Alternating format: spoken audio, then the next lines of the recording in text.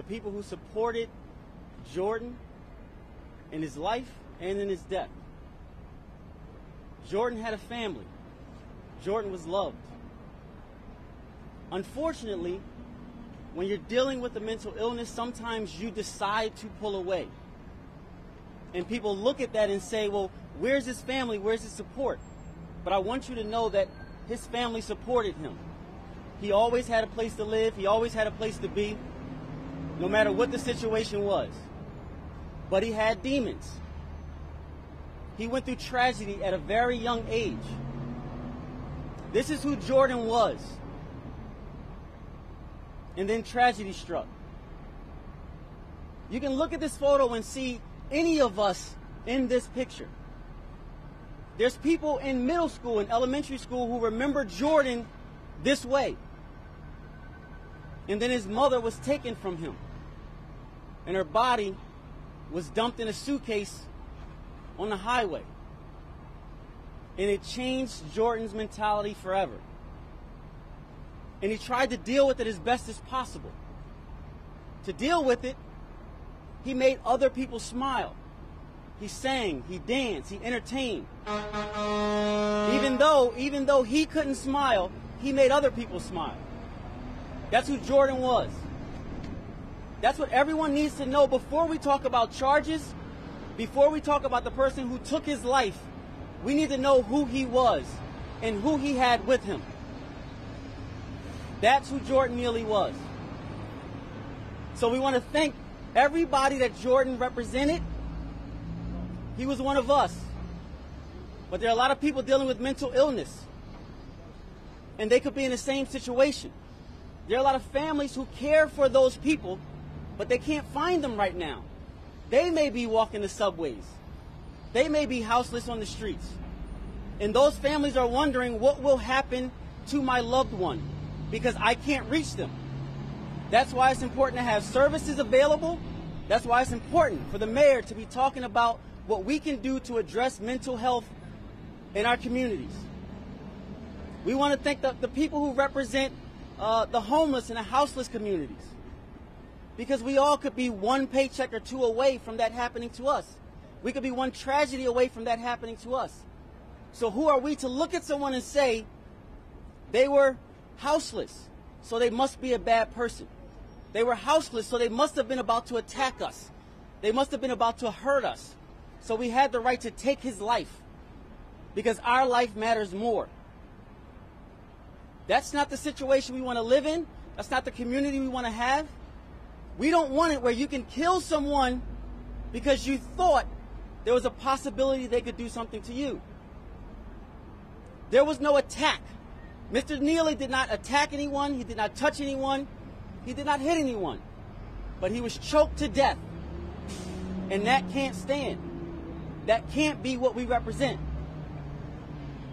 His father here, Andre, lost a son. His Aunt Mildred lost someone she cared for very, very much. She tells us stories about how he would come to her house on the good days and ask her to take a shower, ask her for food, and she would provide that for him. But when he had bad days, he didn't want to be around people that he know loved him because he didn't want to disappoint them because he was at a low point. He didn't want to be judged and lose maybe the love that he had, even though they would have never lost that love. This is really what we're dealing with. We have to care about people. We're all human beings that's trying the best we can in this life. And we need each other. No one on that train asked Jordan, What's wrong? How can I help you? He was choked to death instead. So, for everybody saying, I've been on the train and I've been afraid before, and I can't tell you what I would have done in that situation, I'm going to tell you. Ask how you can help. Please.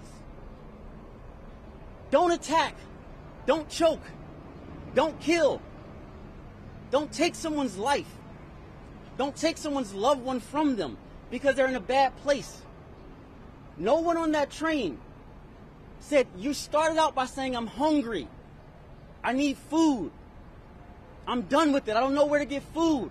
I don't care if I die. I don't care if I go to jail. I'm just done. No one said, Here you are, sir. Let me meet your need or help you in a situation or give a word of encouragement. That's not what happened on that train. So, should Daniel Penny be charged with manslaughter? Absolutely. Because he acted with indifference. He didn't care about Jordan, he cared about himself.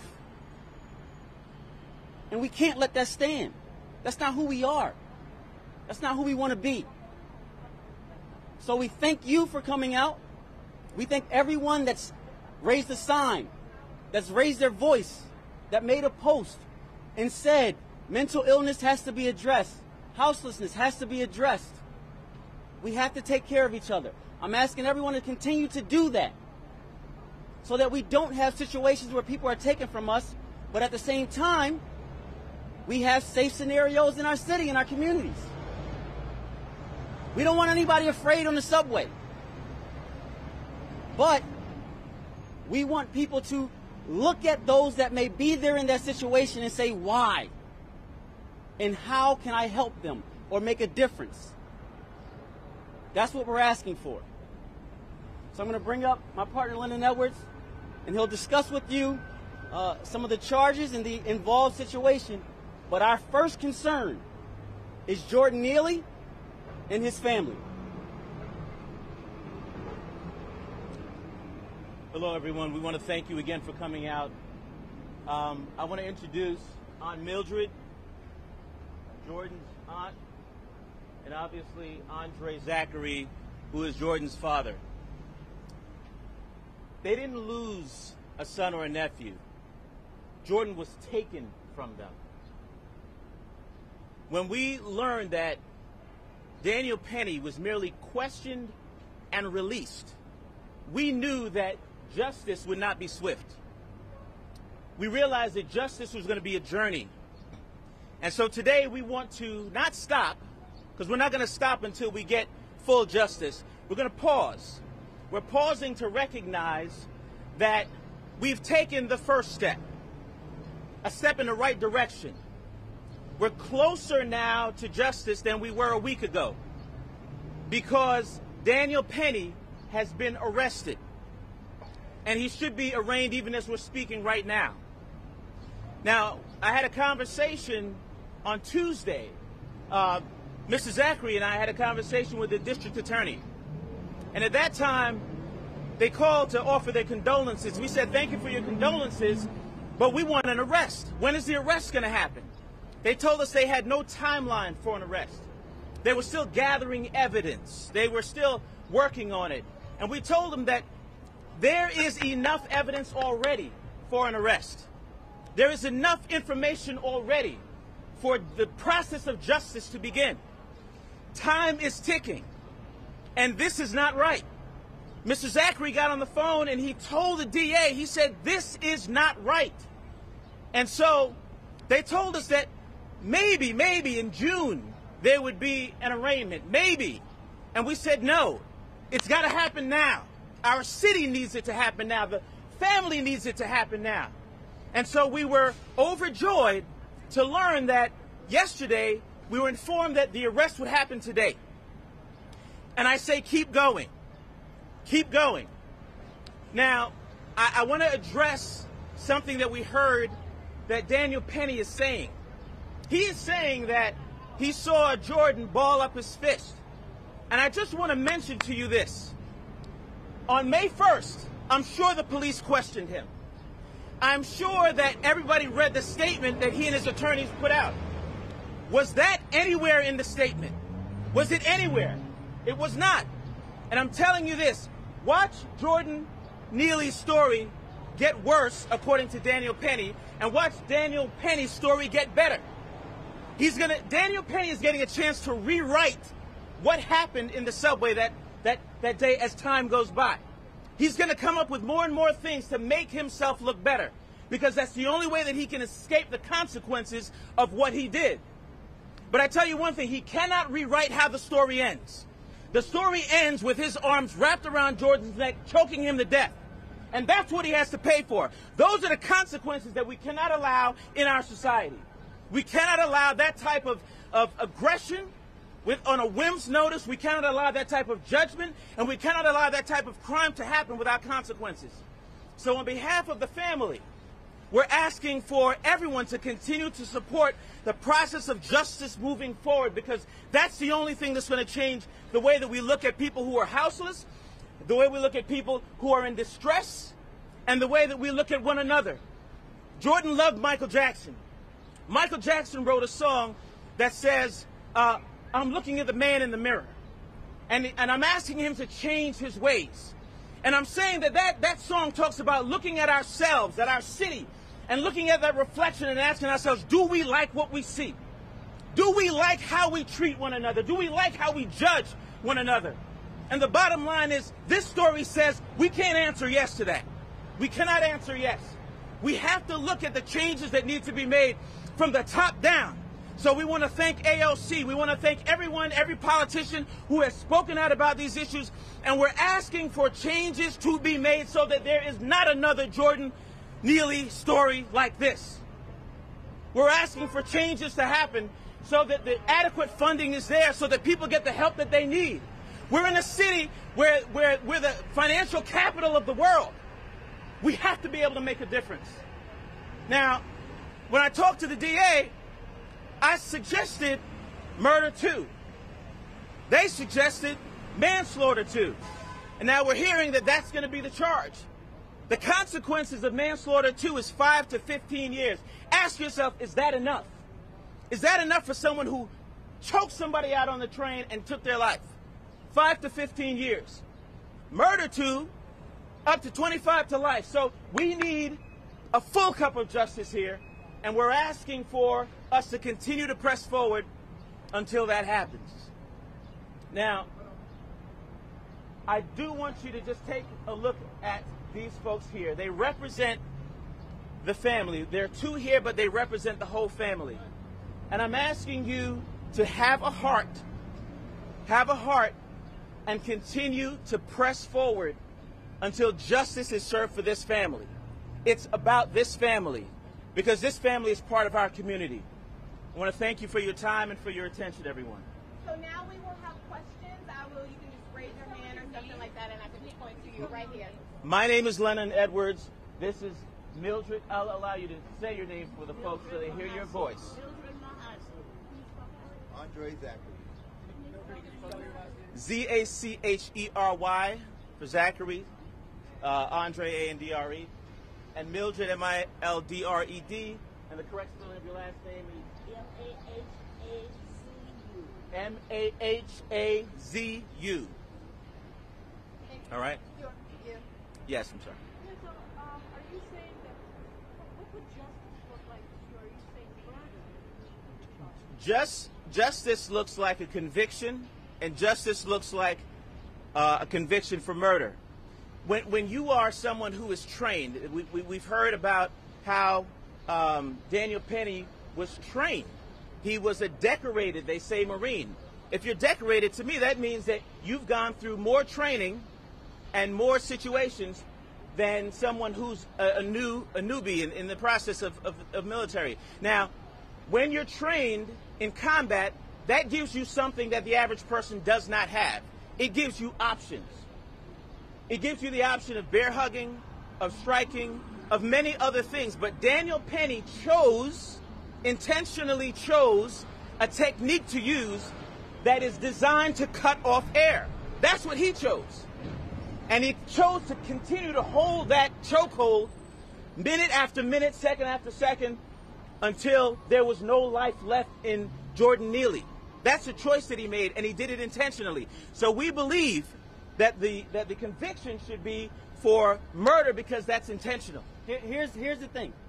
What did he think would happen? What did he think would happen when he choked them and held on for almost 15 minutes? So if you look at this and say, was it intentional? Did Daniel Penny get up that morning saying, I'm going to go murder somebody? I don't believe he did. But in that moment, even if he was afraid to begin with, at some point, when people are screaming, let him go, you're going to kill him. At some point, when people are saying, He defecated on himself, which is a sign he's losing his life. At some point, when somebody screams, My wife is a nurse, I'm telling you, you're going to kill him. You're going to get a murder charge. He could have chose to let him go, but he didn't. And what did he think would happen if he didn't? He had to know he would die. He had to. Next question. You talked about calling for change in New York City. I wonder, you know, Mayor Eric Adams earlier this week talked about what he thought change would be more involuntary commitment to mental health initiatives. And I wonder what response to that is, what other changes would you like to see? So the changes that we're talking about, uh, what changes can we have for mental health in the city? I think Mayor Eric Adams uh, took a good step this week. He started out on the wrong side. He started out by saying, we don't have enough information, but I do know of situations where people assisted someone on the subway. He knew that that's not the case here. So we applaud him for having an about face and for really making this about what the issues need to be, which is mental health. How do we make that change? Yes, we provide services, and at some point, we have to recognize that if you're dealing with mental health, you don't know how to help yourself in certain situations. Specifically here, Jordan had family, he had a house to go to. There were many doors open to him, but he didn't know how to process his grief. He didn't know how to process his mental health. There were times where he was in a facility and the family asked him, Can you keep him? He's not ready to come home yet. But they didn't. They sent him along his way because he, were, he was not in a current crisis. And they said, We need the bed. So we're going to get them out of here. Even though the family asked that they kept them, that, uh, even though the family asked that they keep them there and render treatment until he was actually better. So that's a positive step that we can take. Does it mean that sometimes you have to bring people in even if they don't want to in the moment? Yes. Does it mean sometimes you may have to keep people even if they want to go home or go out? Yes, but we have to take an affirmative step in helping people. The time to just relax and let people that need help come to us is over. Go ahead. In the booth.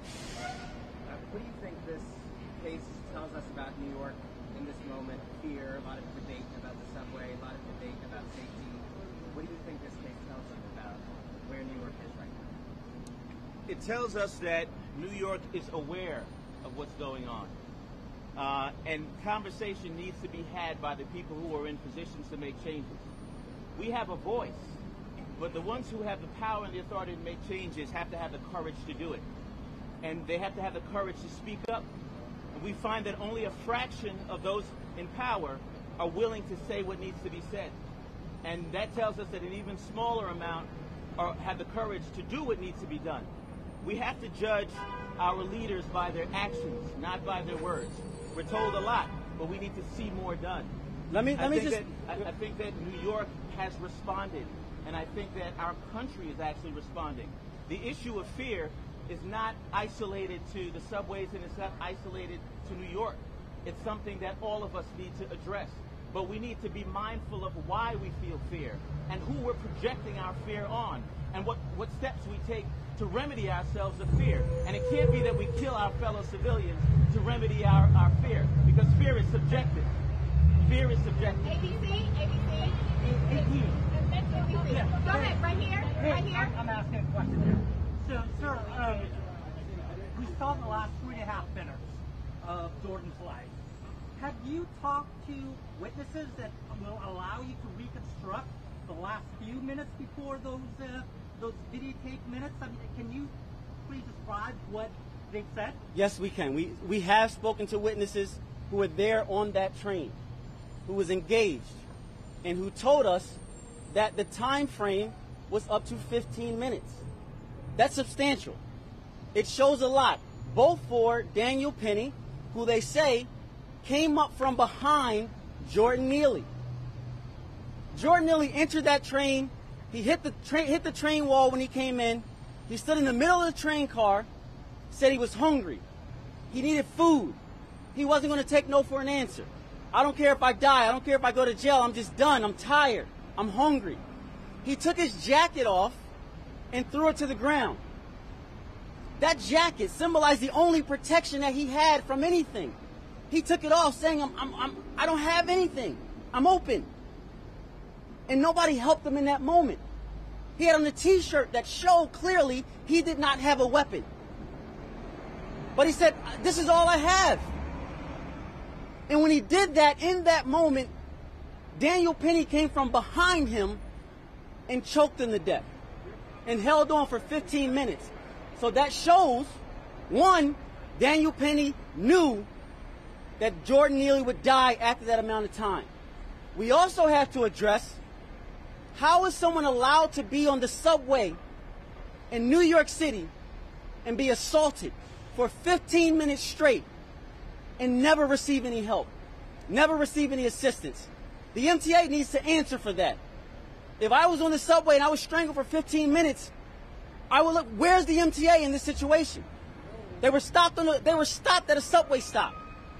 Nobody came to help him. That's that that cannot happen in the world we live in. We talk about fear. We have to have people in place. The MTA has to be responsible so that we're not afraid. We know that if something does happen, we don't have to take matters into our own hands because the MTA is there with their security, with their police to make sure we're safe. Next, next question. Uh, I'm sure you've seen a lot of folks pointing to Mr. Neely's prior arrest record as maybe some kind of justification for this. What's your message to that? Best answer to that is because someone has either mental illness or houselessness or has a history of arrest does not make them dispensable. It does not mean that their life has no value. The difference, I think Mike Tyson was the one who said the most disrespectful thing you can do to somebody is put your hands on them. And the difference here is if you lie to somebody, they can they can work on their reputation. If you steal money from them, they can earn it back. But if you kill them, there's no recovering from that. We have to believe that we can rehabilitate people, that we can help them, that they can have that they should have an opportunity to recover from whatever's going on. The, the, the point of us having funds delegated and, and people getting their needs met is so that we can give people a chance to recover and reclaim the life that they should have had. In this case, Jordan's been robbed of that. And, it, and it's important to note, just, it, hold on, it's hold im- on, Ayamba, hold on one second. Hold on one second. Hold on one second. Ayamba. How do you feel about the charge of the second manslaughter? How do you feel about that charge? about We, charge? we, we disagree with that. Yes, we disagree with the manslaughter charge. We think it should be murder because he knew it would happen. He knew he would die.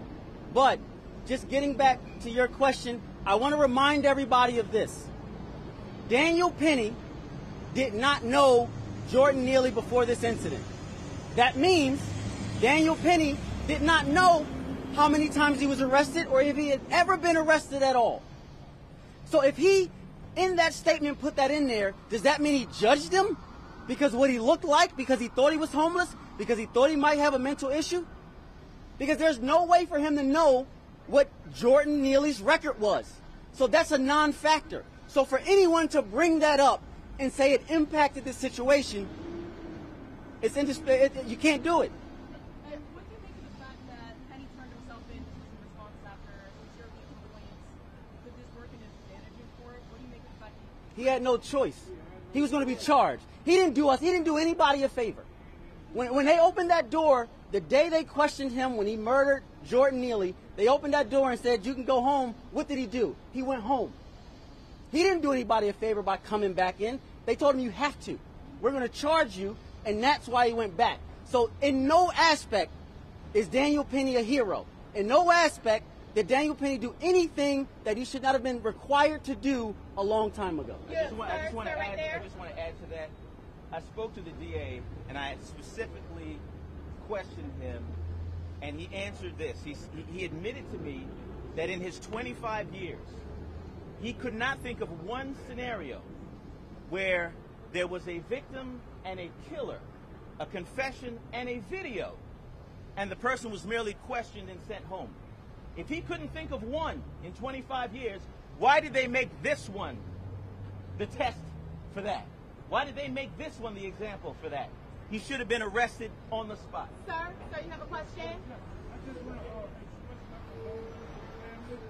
But the week before, the week before this happened, I spoke with Jordan on the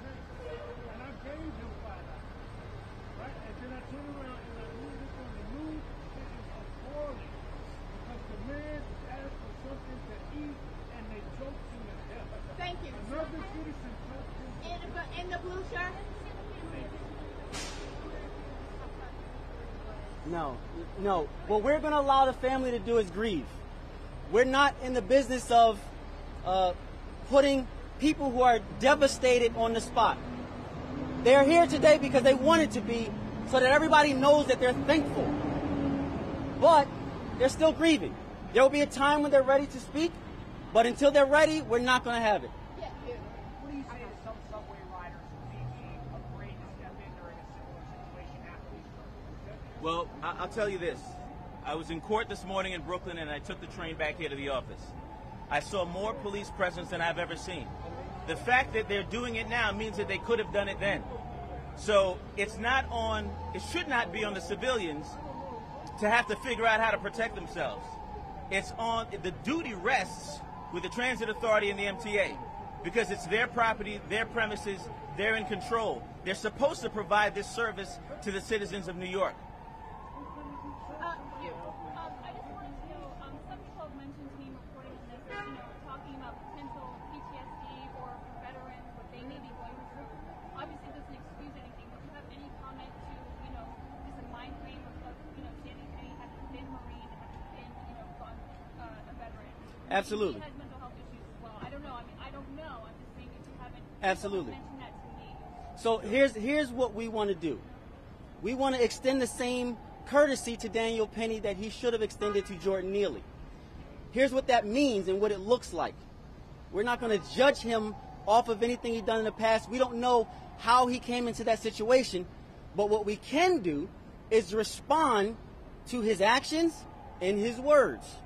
We do know, no matter what he was going through, he decided not to let go.